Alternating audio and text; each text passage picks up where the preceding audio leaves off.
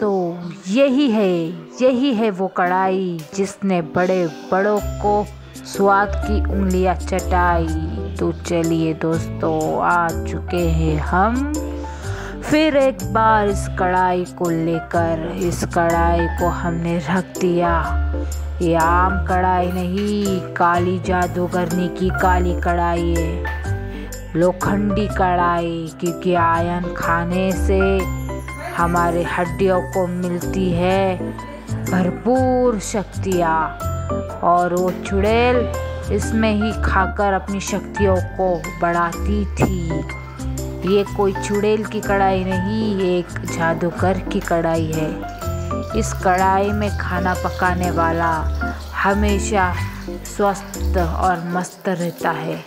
तो चलिए दोस्तों, इस कढ़ाई को रख कर गरम कर कर इसमें दो टेबल स्पून तेल डाल देंगे हम और इसमें हम डालेंगे थ्री एक्स फोड़ कर और उसके बाद हम इसमें इसे वो नीचे ऊपर कर कर अंडों की चटनी को तड़कने देंगे। और जैसे ही अंडे की चटनी तड़के तड़ तड़ करे आपको आवाज़ भी सुनाई दे रही होंगी। दोस्तों, इसके बारे में, इस कढ़ाई के बारे में जादू करने को पता नहीं चलना चाहिए, वरना वो आ जाएगी।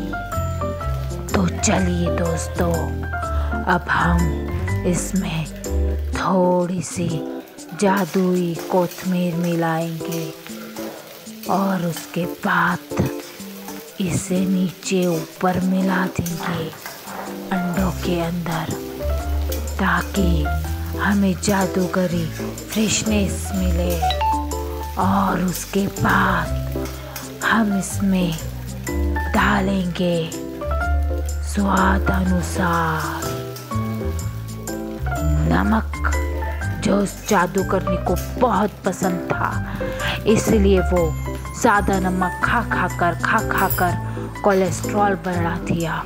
तो इसलिए दोस्तों, नमक कम खाइए और सेहतमंद रहिए। जिस तरह वो जादूगर रहता था तो स्वाद अनुसार नमक डाल दीजिए। और उसके बाद दोस्तों, उससे भी नीचे ऊपर हिला लीजिए।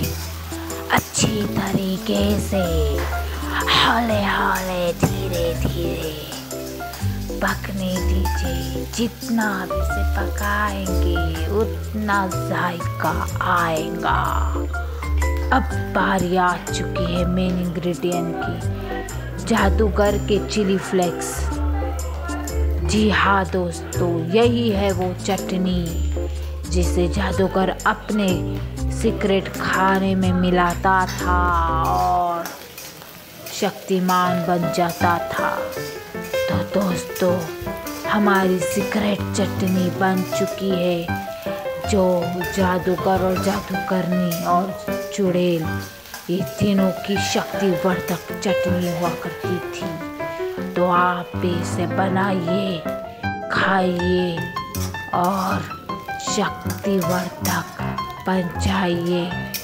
शक्तिमान की तरह तो दोस्तों, आप इसे देख तो रहे हो, मगर जिस चैनल पे आप देख रहे हो, जल्द से जल्द उसे सब्सक्राइब कर दीजिए। कमेंट कर दीजिए आपको कैसी लगी, लाइक कर दीजिए, शेयर कर दीजिए। और हाँ भूलना मत, बेल आइकॉन को ज़रूर दबा दीजिए। आने वाली वीडियो आप तक। पहुँच